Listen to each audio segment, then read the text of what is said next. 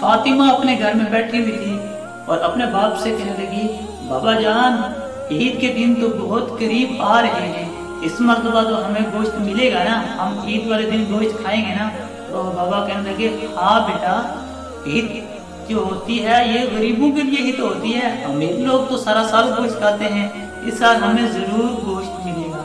खैर, ईद के दिन बिल्कुल करीब आ गई तो फातिमा का बाप भी ईद की नमाज़ पढ़ के घर आ गया।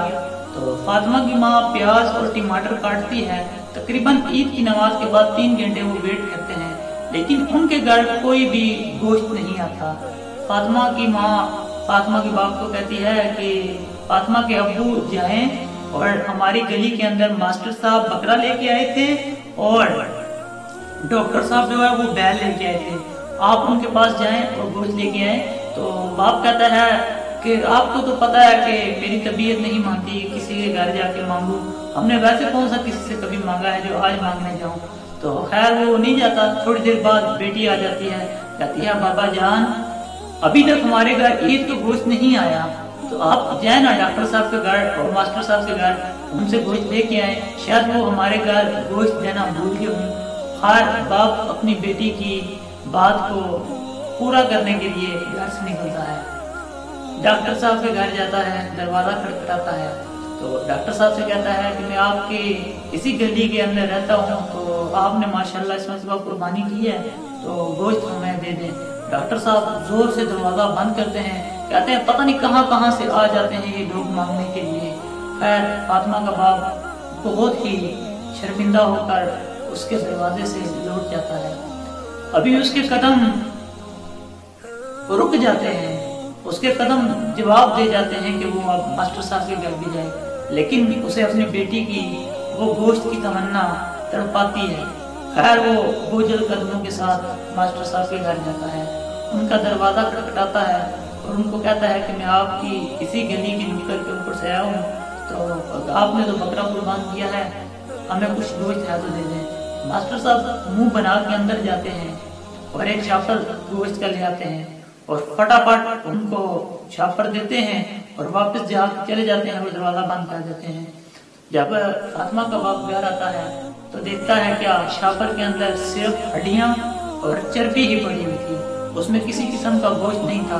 फातिमा का बाप मायूस होकर कमरे में चला जाता है और रोना शुरू कर देता है। इतने में उसकी बेटी उसको देख लेती है और पापा को जाके गले से लगा लेती है और कहती है पापा मुझे पेट में दर्द पड़ा हुआ है। और मैंने गोश्त नहीं खाना। मेरा पेट दर्द कर रहा है। इतने में उसकी माँ भी आ जाती है। अभी उस घर में रोने वाले कोई दो अपराध नहीं होते। एक फातिमा का बाप है, एक फातिमा की माँ है और दो उसकी बेटियाँ। क्यों रो रहे हैं ईद वाले दिन भी उनको गोश्त खाना नसीब नहीं हुआ? हालाँकि फातिमा का बाप और उसकी माँ बहुत सबर वाले हैं, लेकिन जो बच्चियाँ हैं आगे पीछे जब मोहल्ले में देखती हैं कि इतने ज़्यादा जानवर आए हुए हैं, इनका गोश्त हमें मिलेगा। लेकिन ईद वाले दिन भी उनको गोश्त नहीं मिलता। तो पूरे का पूरा घर आपस में गले के रो रहे हैं। ईद वाले दिन भी वो क्या समा होगा जब एक घर के अंदर किसी को गोश्त नहीं मिल रहा? अरे हम कुर्बानी किस लिए कर रहे हैं?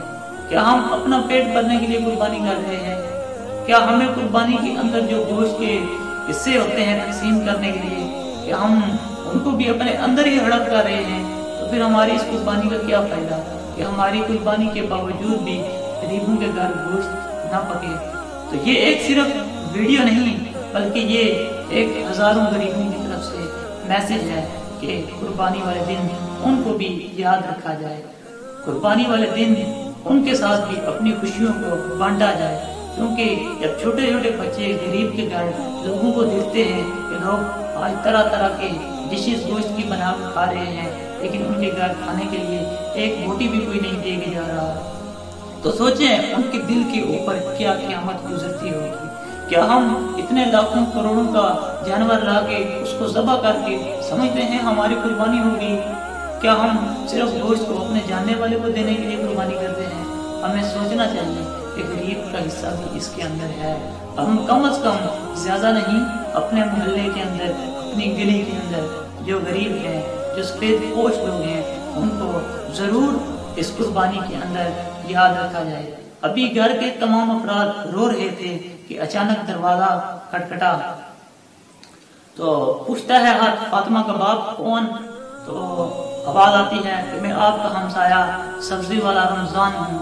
तो फातिमा का बाप जाता है, दरवाज़ा खुलता है, क्या देखता है कि उसका हमसाया जो रेडी लगाता था सब्ज़ी की एक काफ़ी बड़ा छापर गोश्त का भर के लिए आया और इनको देता है। कहता है, मैं गाँव गया हुआ था तो मुझे रिश्तेदारों ने गोश्त दिया तो हम इतना गोश्त नहीं खा सकते। या आप ले लें, आपके भी बच्चे हैं। चले, हम अपनी खुशी को आपस में तकसीम कर लेते हैं।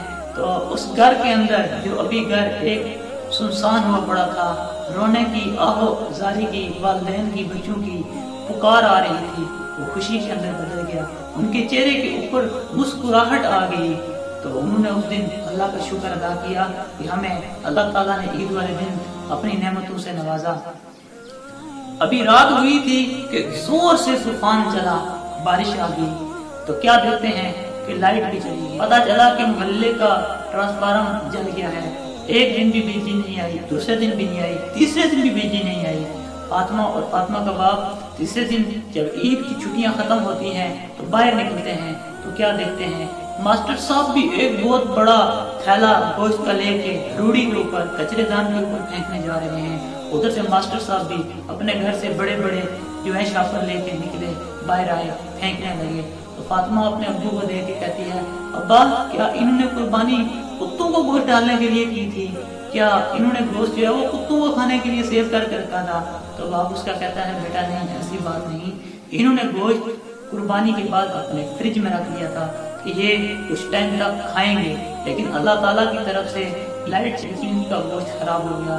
तो यहाँ पे एक मैसेज है उन लोगों के लिए जो कुर्बानी करके गोश्त तकसीम नहीं करते, बल्कि अपने फ्रिज भर देते हैं कि यार हमारे बच्चे हफ़्ता, महीना तरह तरह के खाने से बना के खाएँगे।